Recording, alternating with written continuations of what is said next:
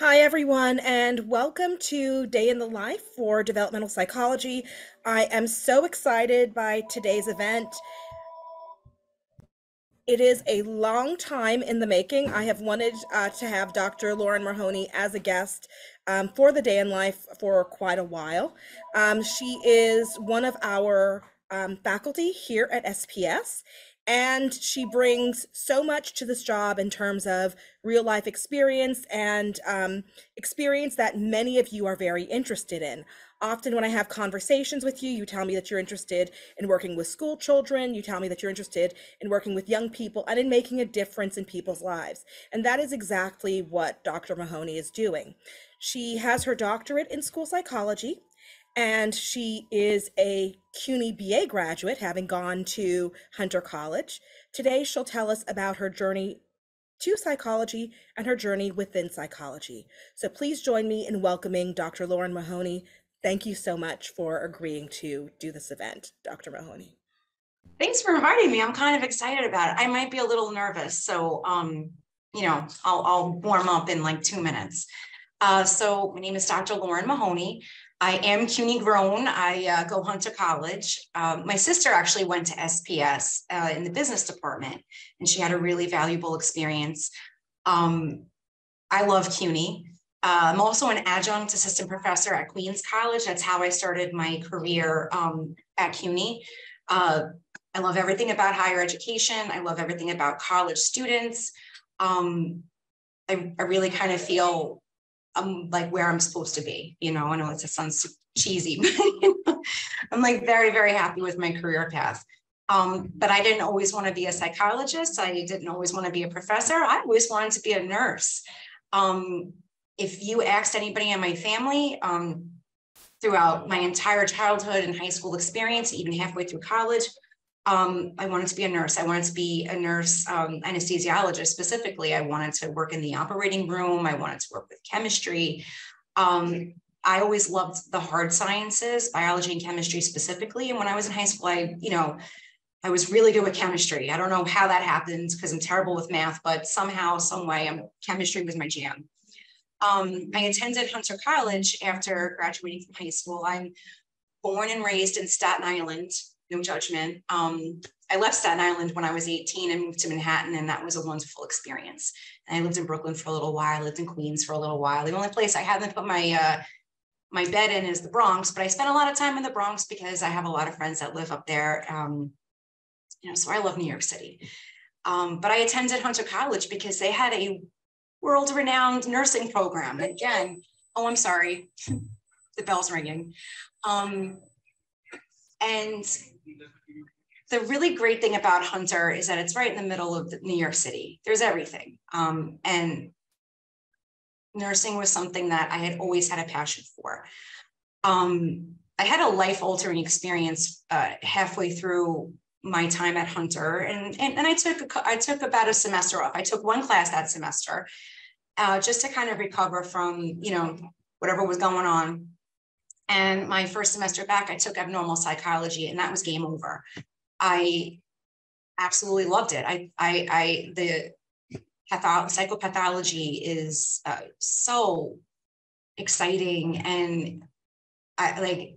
I can't even talk about it. I feel so passionate about it. I, I just I find it to be fascinating, and I stopped being a nursing student and became a psychology major. And, you know, while I was attending college, I was a bartender and a waitress. And we all know bartenders are amateur psychologists. And, you know, I, I really enjoyed sitting down and talking to various people of age, you know, ethnicity, religion. I loved learning everything about their lives. And, um, but I really loved helping them process their feelings uh, and just being a person to listen. I had a very different view of what therapy was when I was a bartender versus what I am now. And I'm sure I made many mistakes um, on the other ends of the bar. But hey, you know, um, it's kind of what helped shift my career path from being a nurse to being where I am now. Um, during my undergraduate studies, I loved biopsychology and um, behavioral neuroendocrinology. I think it's fascinating how neurotransmitters and hormones and genetics and evolution all kind of come and, and play this huge factor um, in one's behavior. Uh, upon graduation from Hunter, I I thought I would get the couch with the little armchair, you know, when I was gonna, gonna be a psychologist and it's gonna be great. Um, my first job out uh, with a bachelor's in psychology was a direct care worker in a nonprofit organization on Staten Island. Shout out to Anya Mark. They do be- they they were doing beautiful things 20 years ago, and they continue to do beautiful things uh, to the present day. And it really kind of helped me focus a little bit more on what part of there's so much inside who knew this? I didn't. So much in psychology that you can study. Um, and developmental disabilities and education seem to be like kind of where my rate you know my honing device was going towards um, but I really had no idea what to do with my bachelor's degree, and I also didn't really know what to do um, with my education path. So I ended up transferring to another nonprofit in Staten Island called Eden 2. And Eden 2 um, is a school for uh, autistic children. They have uh, lifelong programs across, you know, an adult program, I'm sorry, and a bunch of different, or, you know, uh, all across Staten Island and, and some programs in Long Island. And I loved working there. I, I worked with some of the best um, behavior analysts and speech, you know, Dr. Joanne Gerenser, she's a pillar in the speech community. Frank Cicero is a pillar in the field of behavior analysis. And I studied under them and worked under them and mentored under them um, for many years. And I always thought that I wanted to work in a psychiatric hospital, you know, with my psychology degree. So I enrolled in Queens College's um, clinical behavioral applications program. It's no longer there, but you were going to be basically a board certified behavior analyst when you were done. Board certified behavior analysts, you know, really look at the environment and behavior, and they develop skill programs to help people you know, just really live their best life um, by teaching socially significant behavior. And I found that to be fascinating. And, and I wanted to work in a psychiatric ward. I wanted to go where the magic was happening. Um, and then I got pregnant, you know, and so I was like, maybe I don't want to work in a psychiatric ward pregnant. So then I kind of had to go back to the drawing board. And I remember a couple of years back, I was, uh, you know, a very good, a friend of a friend, I should say, um, we had gone to high school together, but we weren't friends with him. And he was talking about how he was in the school psychology program at Long Island University. And I was like, didn't really think of it back then. I just remember being like, that's cool. Um, and then I was like, what do school psychologists do? And then I actually looked on the internet, I consulted the Google and I was like, oh my God, that's great. I want to do that. I want to work in a school. I want to work with, with kids. I want to help them learn. I want to help them be, you know, the best student they can be, the best kid they can be, and then eventually the best adult they can be. And, you know, everything about school psychology, I was just like, this is it. This is exactly what I need to do. Um, and so I applied for LIU's program at Brooklyn, the Brooklyn campus, and uh, Dr. Levanis and Dr. Sapunzis uh, took a chance on a, on a, crazy girl with a four-month-old baby at home um, who was fiercely Skinnerian um, behavioral and Dr. Sapunzis was a psychoanalytic professor. And so we are like on opposite ends of the spectrum. It's like a conservative Tea Party Republican going up against a liberal Democrat. Like they just don't, there's no middle ground. Um, but for whatever reason, I got into the program. And I had a very difficult time balancing work and life. And you know, I worked full time, went to school full time, I had a baby. Um, very grateful to the assistance from my friends and family because that's how I went to class. When I graduated from LIU, I was hired as a school psychologist at Eden 2. Um, I was working in Staten Island and in the Long Island program. In the maybe about a year or two after I graduated, you know, I graduated. Um, I took a, uh, I, I enrolled in the University of North Texas and became, uh, got a postmaster's graduate certificate in applied behavior analysis. Sat for the um, BAC BACB, you know, test, and I became a BCBA. And I was like, this is great. I'm a school psychologist, board certified behavior analyst. I'm living the dream. Um, my job at Eden was amazing. I did everything that I wanted to do. I was testing kids, I was doing counseling, I was doing consultation work, I was doing parent training. We were presenting all kinds of research internationally, like behavior management techniques, parent training techniques, um, you know, staff, did I say staff training? I might have, I don't know, but just you name it. We, we were like really in the thick of it. And um, everything we did was rooted in, you know, any of our interventions were all based on existing research. And so I then started to develop this data driven mind, you know, so I'm really very grateful for my, my time um, and my experience at Eden because I would be remiss if I didn't say that um, they had a huge, huge impact on the person I am today. I'm a licensed uh, behavior analyst in the state of New York. I don't even need to take the EPPP anymore because, you know, I just use that. I have a small private practice. I work with um, adults in college um, that are diagnosed with autism, and I help them navigate the crazy social world and the demands of being a neurodivergent individual, you know, on a campus where some things, you know, are a little bit novel and a little bit more tricky. And um, one of my clients, I'll just say this, uh, she, I started working with her when she was 12. Uh, she was the first student I ever worked with um, on my internship as a school psychologist. And I worked with her for many, many, many years. And when she turned 21, her mother had reached out to me and was like, she needs a therapist. She, you know, she wants to work with you. This is what's going on. And can you, can you make this happen? And I was like, I'm not, you know, I'm not licensed. I can't, I can't see her. And then, you know, every year she'd ask me, and then the pandemic came, and then licensing came, and New York State finally became licensed. And now, you know, she and I have been working together for a thousand years, and I love how things always come, you know, full circle. Um, and I find the work to be really valuable. And I learned so much from her about the experience of a college student. So it makes me a better professor, a little bit more understanding, a little bit more clear what the directions, um, you know, what the expectations are. Um, but school psychologists administer, you know, they do everything, you name it. They, they administer cognitive and achievement testing. They do behavior scales. They, they write behavior plans and, and functional behavioral assessments to identify, you know, problematic behavior and how to eradicate it. We do staff consultation. Um, we run a lot of in-home behavioral training programs. I'm really sorry if there's like a lot of noise coming from outside. Um, I hope it's not too distracting. Me, I don't hear it, but then I just realized that it might be loud for you guys. So um, I'm sorry for that. Um, I loved working at Eden because I felt like I was an integral part of the team. I was making a difference. But um, the thing about nonprofits is salary, you know, so I had to leave Eden and then I started working at the Department of Education, go New York City DOE.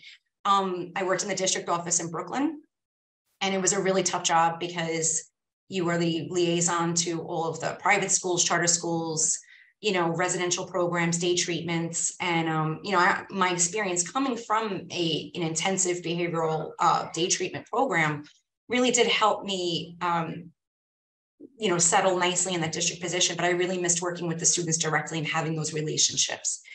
And so I transferred to um, District 75.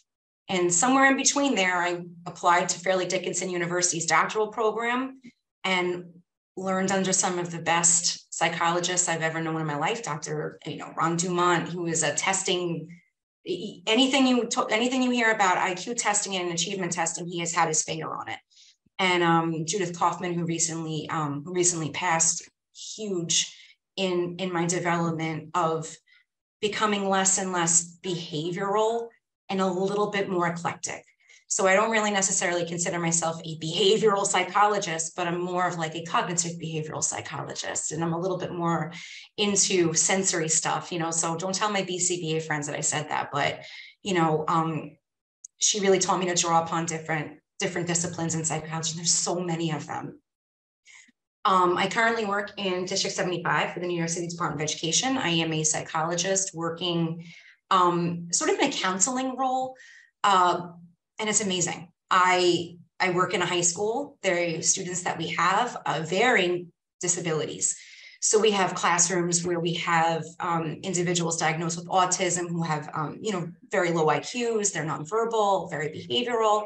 We have classrooms with individuals that have autism, and they, you know, they're verbal, but they have some, you know, quirky behavior. Then we have individuals that are, you know, not quite diagnosed bipolar yet because they don't meet, you know, the, the there's a lot of emotional needs um, in, in all of our students. And so there's a huge spectrum of emotional dysregulation that goes on on a daily basis. Um, what I do here is all of the mandated counseling. I write behavior plans. I write the functional behavioral assessments. I am the uh, sex sex on the condom girl. You know, you, you know, I teach kids about safe sex. I'm the LGBTQ liaison. I'm the child abuse liaison for the entire organization. So I interface often with ACS.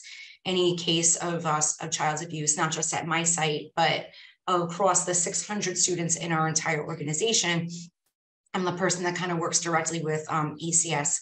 I do staff training. I, I consult with parents, outside providers. I do all the vocational assessments, uh, help develop career tracks. I connect them to outside agencies, whether it be OPWDD or ACCES-VR or any of these other city organizations and city organizations. I'm the person that's like, we need this and let's get it out there. And, you know, um, I'm really very fortunate because the people that I work with, everybody like, sometimes it's too much help, you know, there'll be a student in the hallway having a complete meltdown and I'm there talking to them. And then the more people come, the, the bigger it gets because of the attention. And I'm like, oh, I love that everybody's coming to help.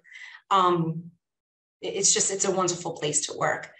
Um, but my day starts 30 minutes before I'm actually on the clock. So I sit and have a cup of coffee with the people that I work with. And I find that that's where I get all the secrets, you know, all the gossip which kid needs, which kid had a tough day yesterday?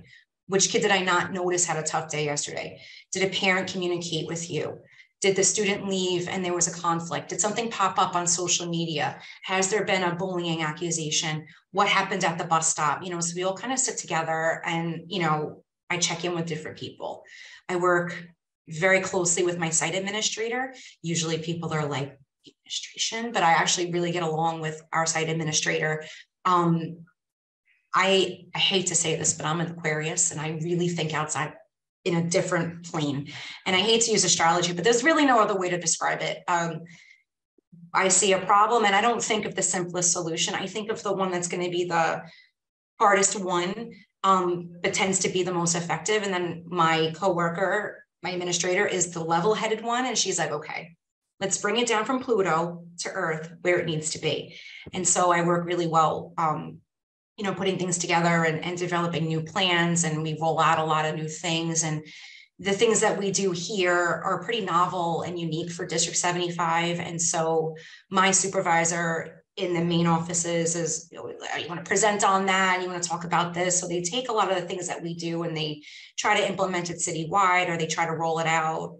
Um, you know, so I'm really proud of the work that I do um, in collaboration with the entire team here because everybody here is personally invested in the students. Um, you know, they're they're out there, their positive outcome. You know, we I've had students that have been arrested. I, have had students that were victims of of trafficking. Um, I've had students that were sexually assaulted in parks in the Bronx. It is a really tough job emotionally. Um, I have to take a nap when I go home I have to close my eyes for an hour before I shift into a different role in my life. I'm a single mom of three.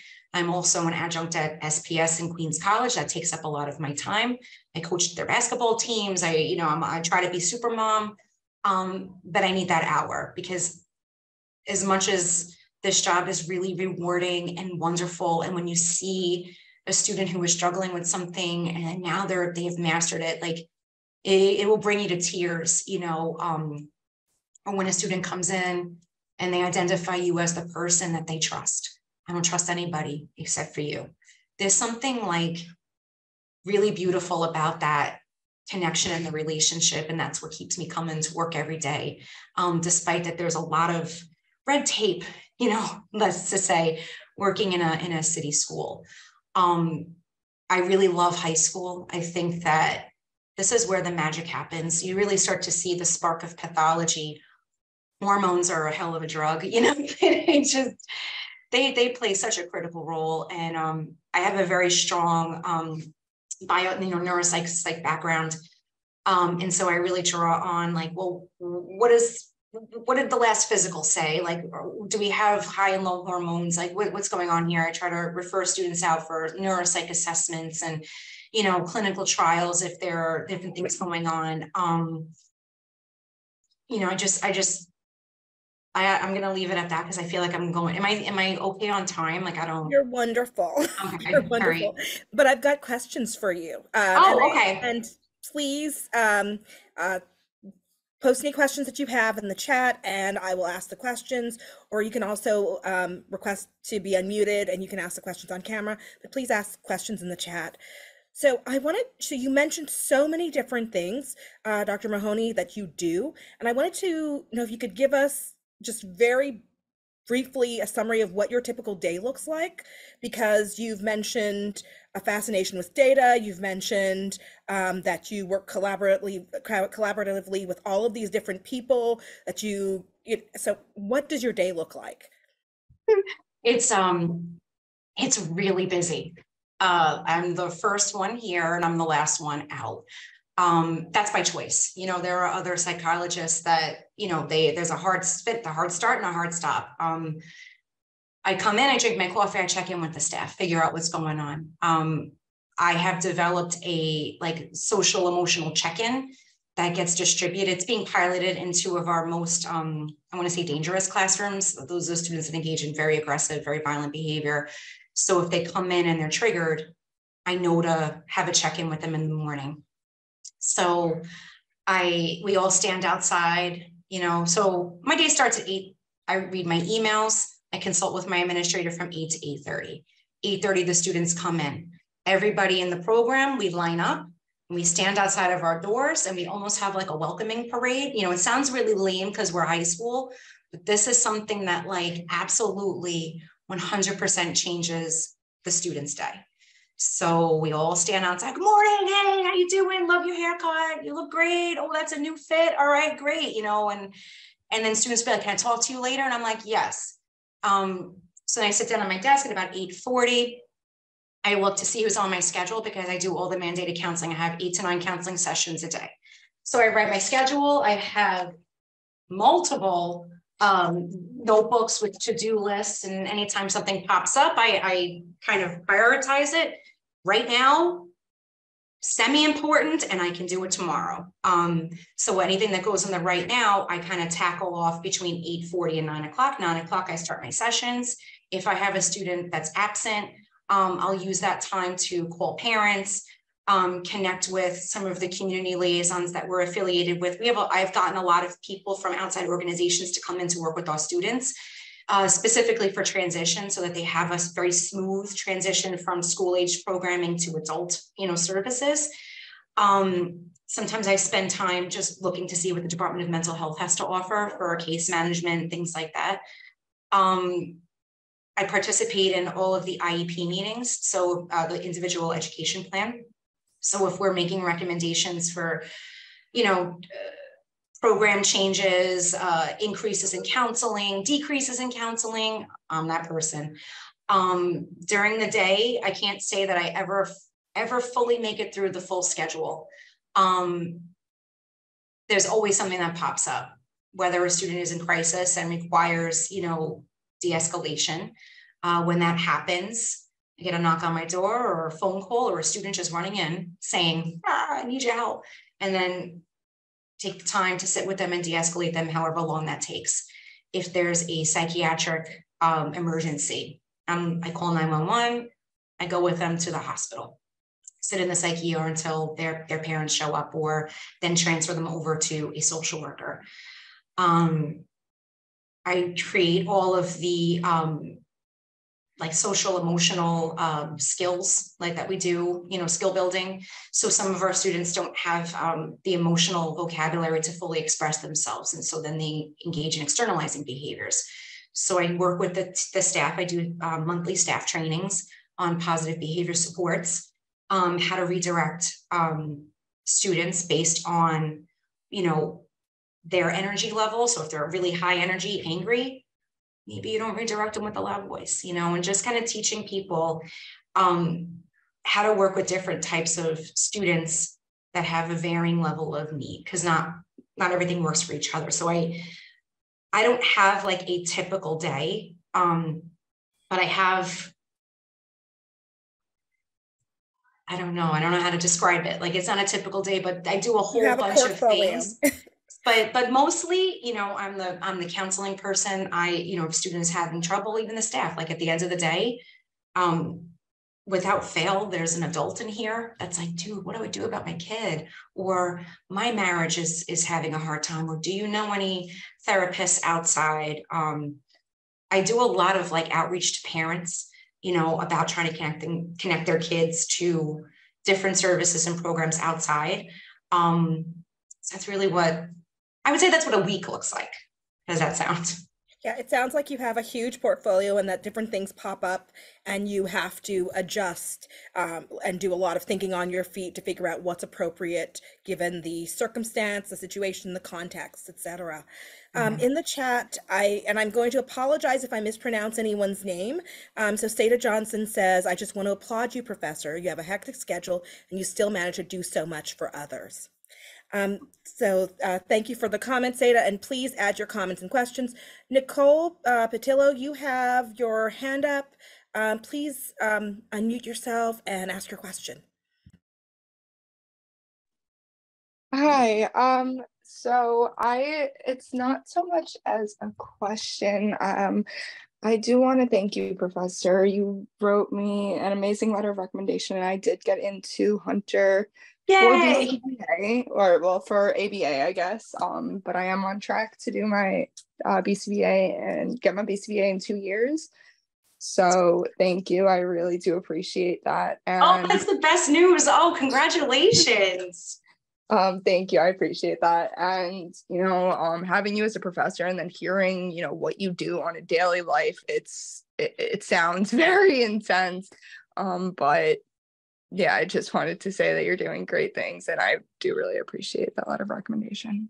You're welcome anytime. And if you need anything while you're in your master's, I mean, ABA, you know, kind of my, kind of my heart right there. So, um, you know, feel free to like continue to reach out even when you're in Hunter. Um, I appreciate that. Thank you. yeah, no problem. Best of luck to you. Thank you for your kind words. Thank you. Thank you, Nicole. So, um, Dr. Mahoney, in your description of your day to day, you mentioned, or and also of your training, you mentioned a few different courses you took. Um, so, could you tell us a little bit about how biopsychology, um, you know, research methods, and other courses that you took inform what you do in your uh, daily practice? Can you tell us about the connection between your education and what you do every day as a school psychologist? So, you know, as I was saying before, like I really love love the hard sciences. So, you know, when you're working with adolescents, there is a surge in hormones, and you know, you and even when you're working with younger kids, there's this rapid brain development. So across the across the the developmental trajectory of like you know young people to to adulthood, you know, there are different periods where the biological mechanism that's going on in a different part of the body is like critical um, for what we would consider sort of a typical you know development. And then we sort of see things when there's abnormal brain you know development we see atypical behavioral patterns. And so what i like to do as much as i can is you know really get a lot and sometimes the parents are not always transparent but before we do any sort of like behavioral intervention i always recommend to the parents to get a full physical you know a medical you know what do their hormones look like? Is, is are they they showing signs of depression because their thyroid is low? Are they showing signs of really high anxiety because their thyroid is high? You know are there issues with their adrenal glands? Are there issues with their pituitary gland um, are we having um, really painful painful periods because there are issues with estrogen and progesterone? And, and those you know high rates of those hormones or low rates really do affect behavior. I mean, as a female, I'll tell you, you know, I know what my levels aren't right. So does my family. you know what I mean? So, you know, it's just taking that knowledge um, and knowing that there are different parts of the brain, there are different parts of the endocrine system that truly affect our behavior and, and our thinking patterns. So I try to talk to students a lot about their health. You know, what are you eating? Um, what does your exercise look like? And then if the parent does send back a medical, I mean, we have a really great nurse here. I got to say, where I work, it is a phenomenal, phenomenal team. The nurse, um, she will shake down these parents and she'll call doctors' offices and she will get all of the information um, that we need to make really sound clinical decisions.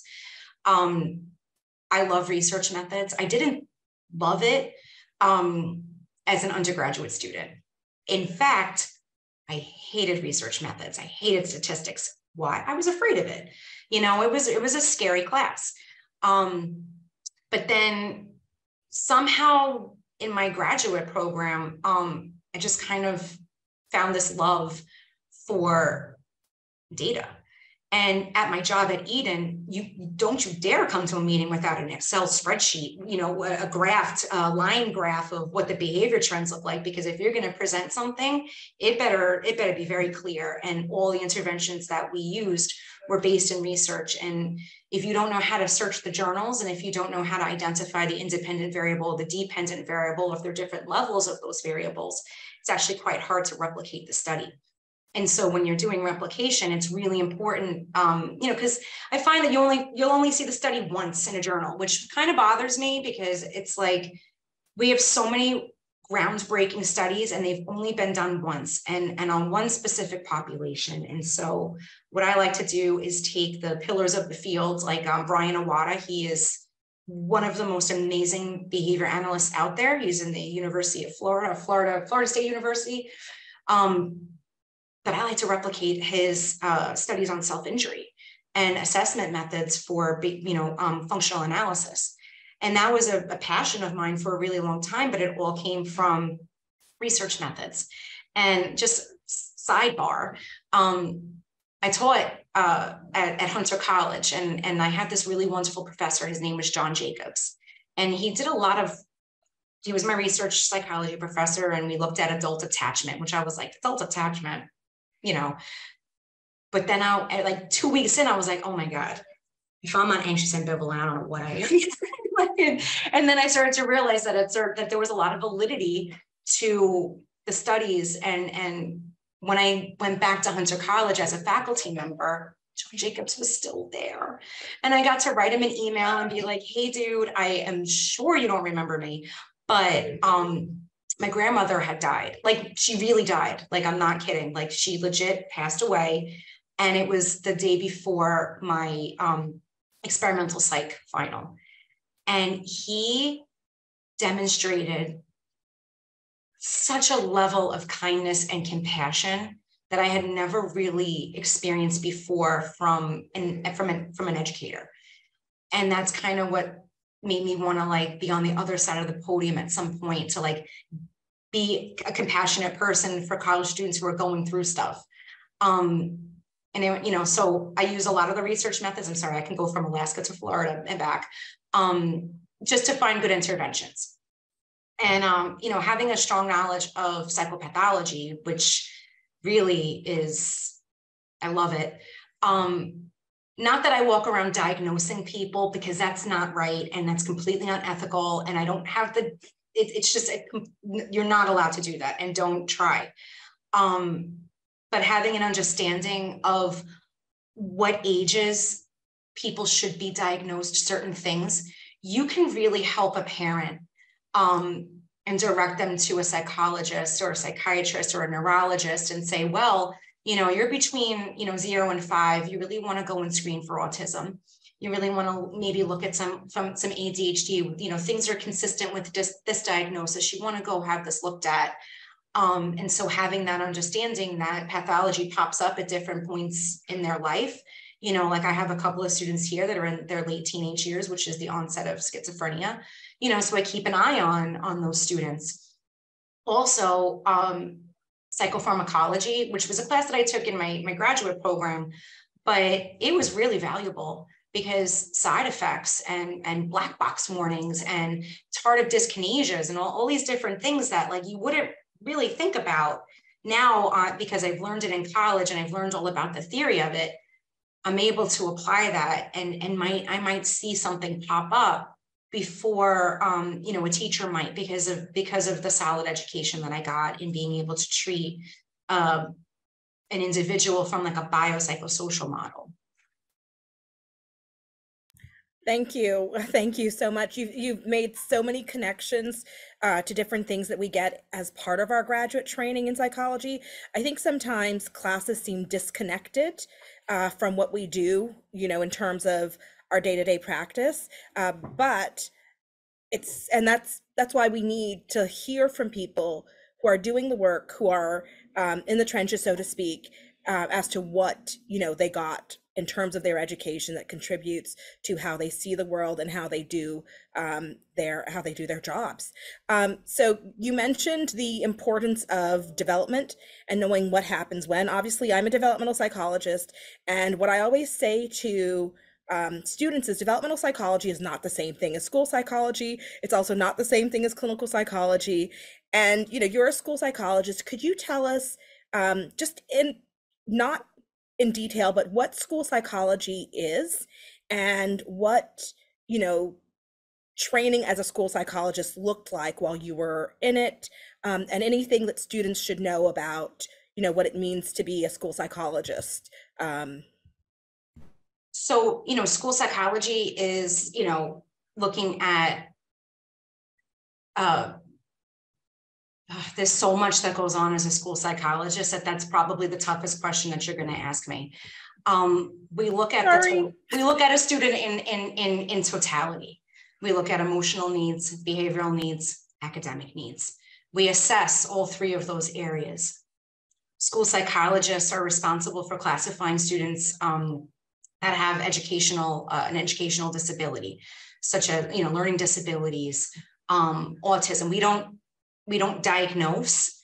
Um, if, if you wanted, uh, you know, to have your, your child's diagnosed with ADHD, you'd have to go to a psychiatrist for that. We make, we, we do a lot of um, assessments and, and behavior scales to sort of get, you know, all the information together for the parent. And then we make decisions based on that data.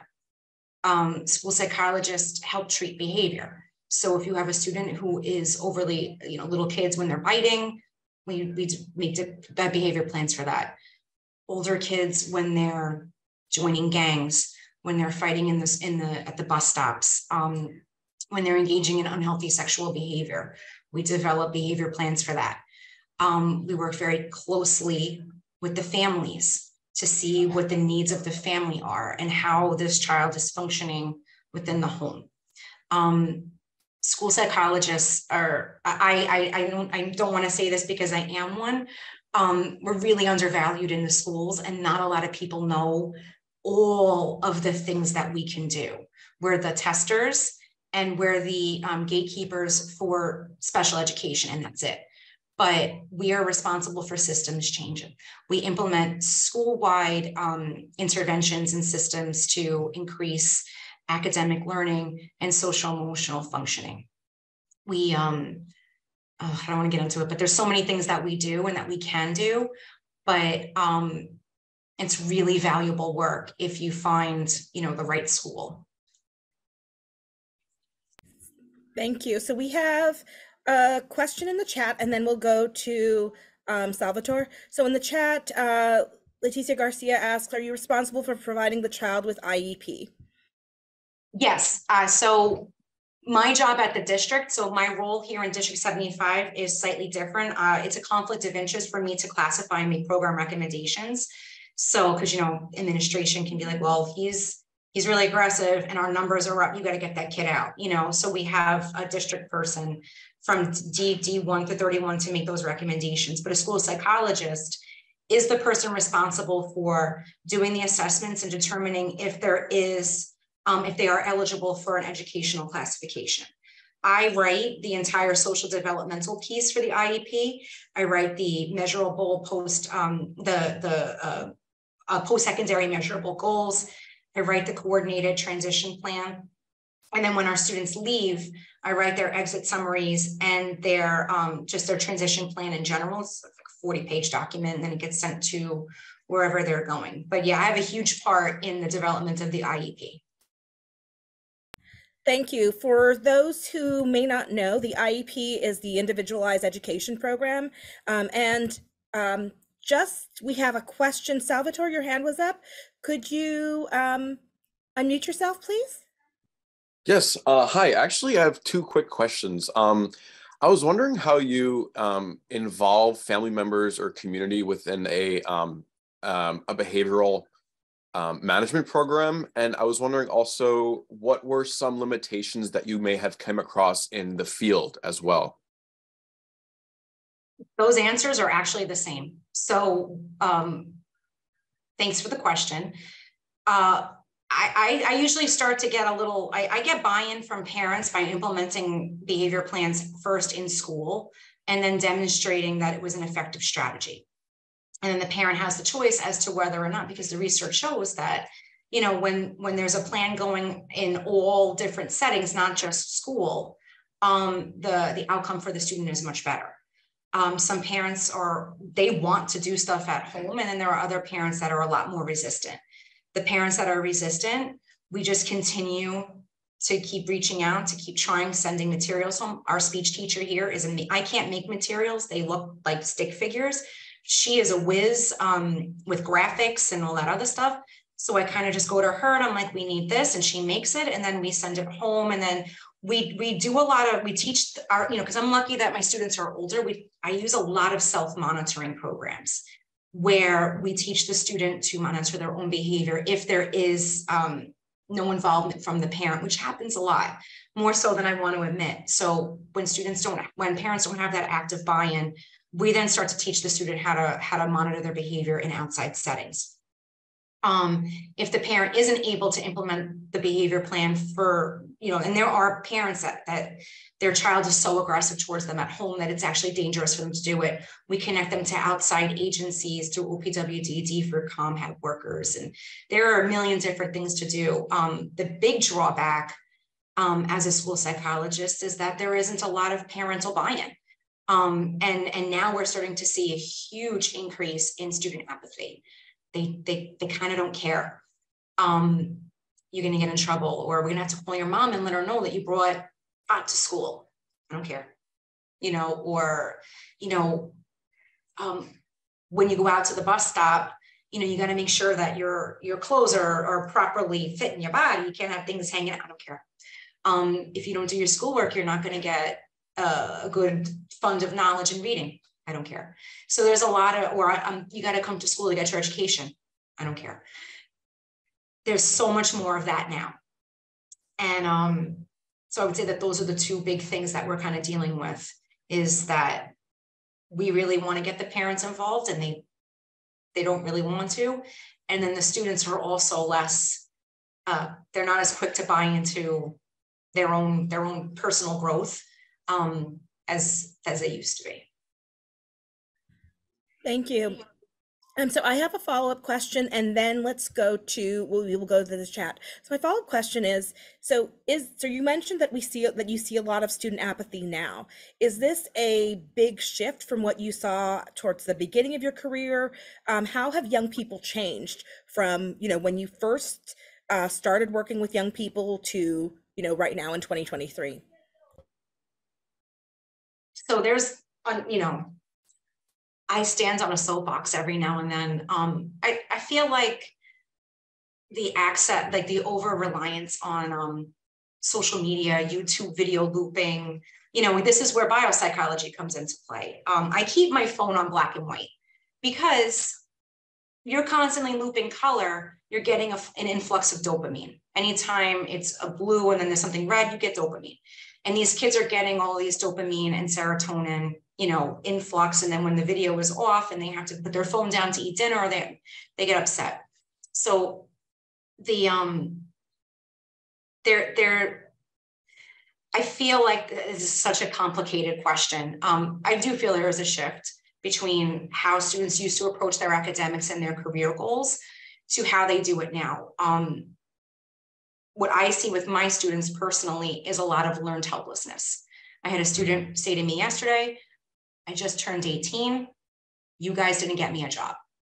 And I was like, oh, bro, we've been practicing mock interviews. We've I've done multiple career assessments, ironed down that we're going to work in either the Amazon warehouse or FedEx.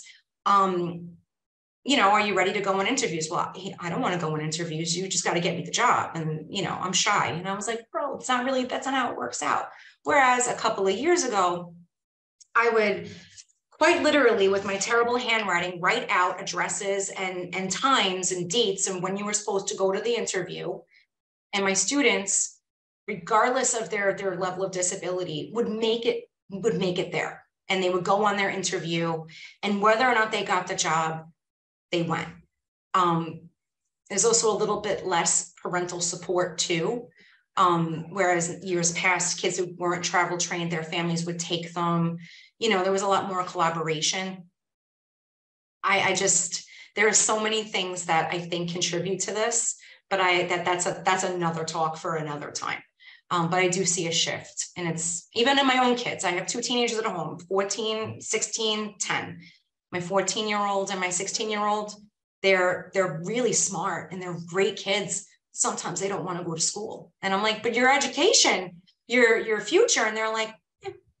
you know, and I'm like, ah, like panicking over it. Um, you know, so it's it's across all the houses. The kids just, you know, kids are being kids. And I and my son tells me I'm a generationalist, generation generationalism. Um, that uh, you know every generation thinks the one after them is is terrible and i hope i hope that that's true you know um but anyway so i, I hope i answered your question Thank you. Um, so we, let's go to the chat. So we have a question from Jessica Morel. Um, do you also see other students who don't fall into the high risk category, um, or how are these students? How are these students? Uh, how are, how do you determine when students need help? For example, students who don't feel comfortable approaching you. So students who may not be high risk and don't feel comfortable approaching you. How do you determine when they need help and how to help them? So all of our high risk students, like I've been very lucky that like I don't really they know when because in the, each teacher in the program are like you have a problem you go to this woman um, there are certain students who have better relationships with their one-to-one para. So they'll tell their one-to-one para or they'll tell a different school um, you know official that they're having a hard time that there's abuse going on in the home that there's drug use going on, they're they're they're um, homeless, and then based on like they don't they won't break trust if it's something low level, but if it's something really serious like that, the teachers and the paras would come to me and be like, "Hey, listen, I think they're homeless," you know. So the staff will help advocate for those students. We're actually in a co-located building, so my school is a a D75 school. We have a wing of a public high, like a 3000 you know student public high school and some of the students that aren't in our program have made their way and we sit we lunch um, i don't know them from a hole in the wall. They don't know me from a hole in the wall. And then just one day there we have this beautiful relationship. And then i'm like have you gone to your guidance counselor about this? And they're like no. And i'm like that's where you got to go. So here in in education we find that the students usually have one person and they'll tell that one person. Um, and if not, they they wait until they do feel comfortable, but we usually figure stuff out. Um, and I do have a student that does not want to engage in any sort of um, counseling activities. Um, he's a new student of ours. Uh, the release, the rapport building has been, you know, a little difficult and challenging, but you know, you just kind of keep at it. I keep saying, you know, it comes in, I'm like, listen, talk. We can sit here and we can listen to soft rock because that's what he indicated on his check-in one day that he liked soft rock. So I, I'm like, we'll put the Billy Joel on. I don't have a problem with that. And then last week he came into the office and I'm like, do you want to talk or do you want to listen to music? He's like, I want to talk. It's all right.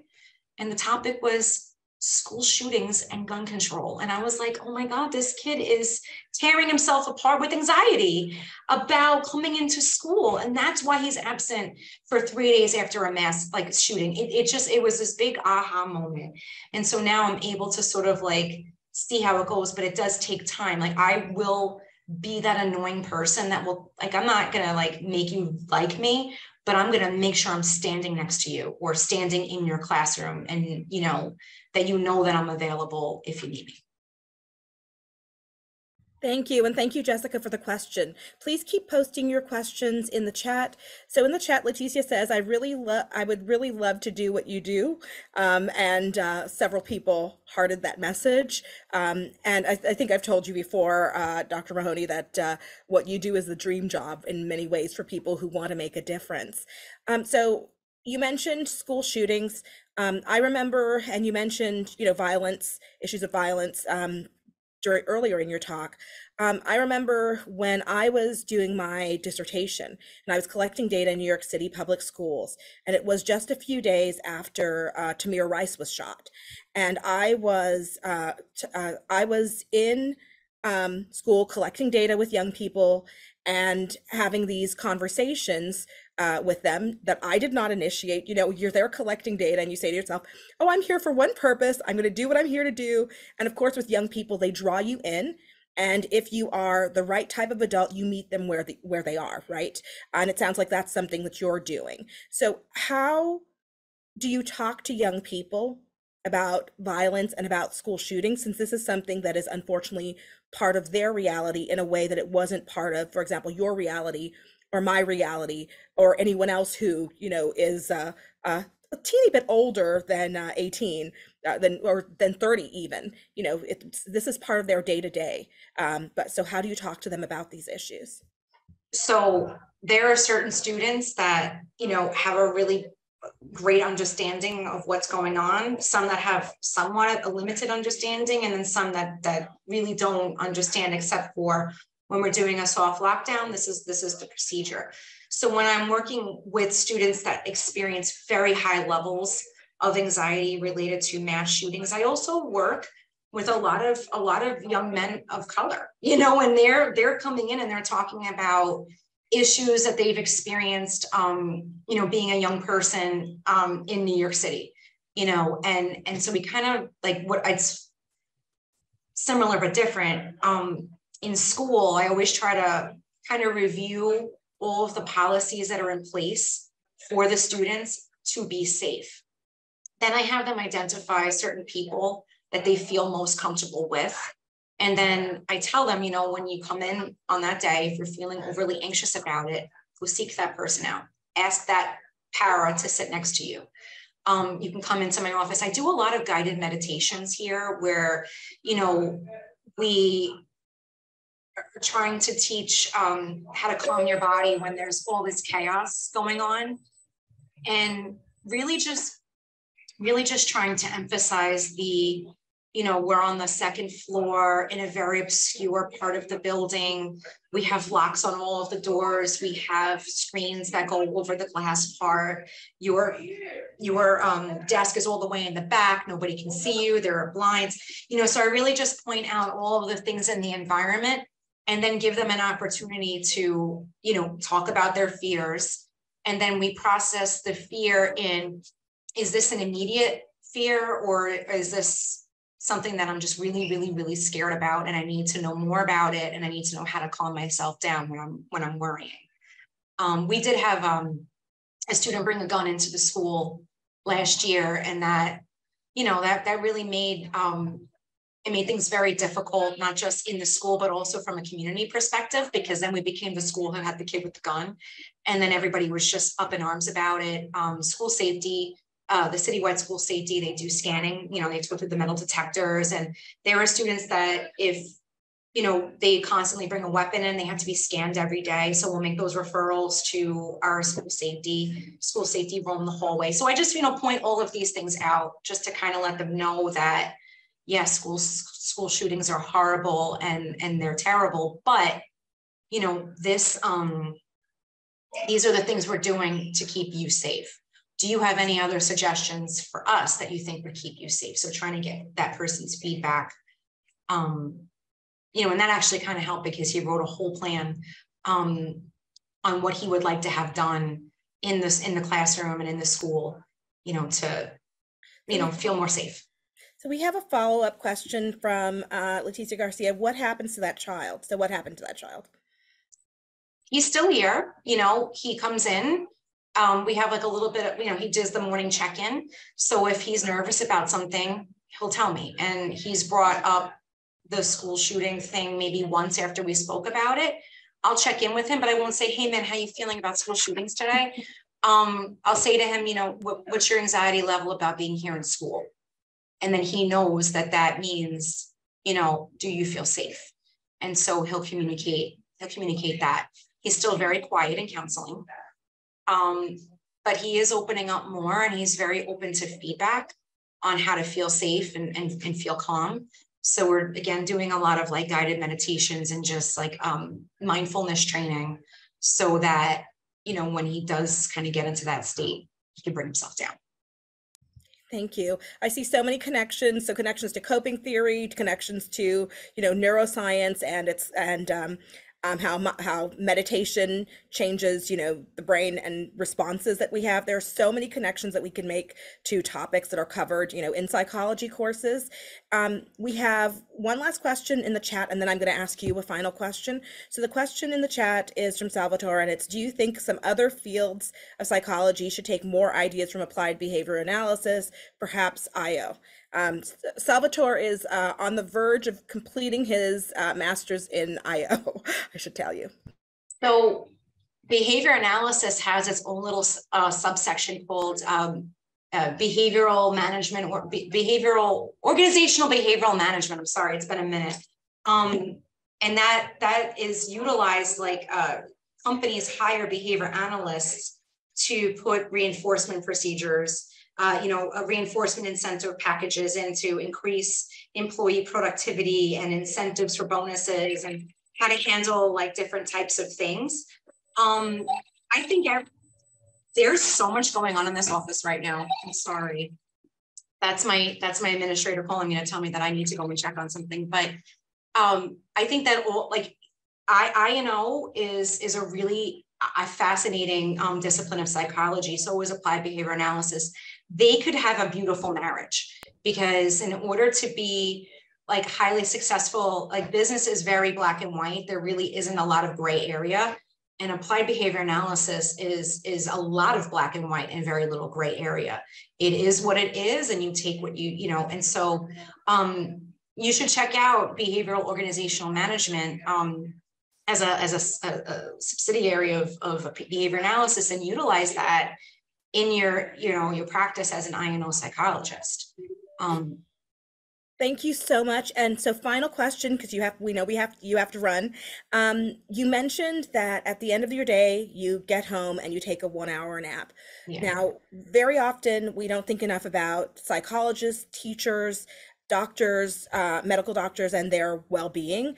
Um, but it's very, as you and I both know, it's very important to do things that help us make it through you know the difficult um, tasks that we have as part of our jobs. What else do you do in terms of self-care? How do you protect you know dr lauren? So i really should i really should state that my self-care um my nap um i had to i had no choice um to start doing that because i have lupus and i have um, an autoimmune um, kidney disease and then I had cancer years back. So like as I'm getting older, my resiliency um, is kind of declining a little bit. So I find that the nap really helps. Um, I I really try to do a lot of self monitoring of my own behavior. I try very hard not to be on my phone or like getting in an Instagram loop. Um, I read actual books. You know, I I really stay like I'm I'm a nerd at heart. Um, I get very excited when the new journals come come out and they're published on the library. I'll print out two or three of them. That's my self care. I'll sit in my backyard with a hot cup of coffee, with the dogs running around, and and I'll read and I'll read the journal.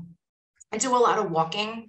Um, I'm very fortunate living on Staten Island. Again, no judgment. Um, it was the only place where I could afford a house back in 2013, and even now it's it's completely inaffordable but I live about a quarter mile from a really from from a beach. You know, it's, kind of a crappy beach, but it's beach nonetheless.